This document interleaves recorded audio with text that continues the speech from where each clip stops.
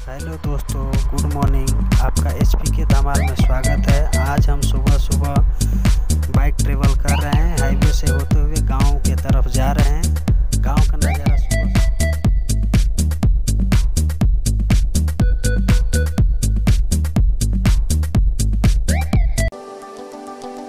अच्छा नज़ारा दिख रहा है दोस्तों। आप मेरे वीडियो में बने रहें।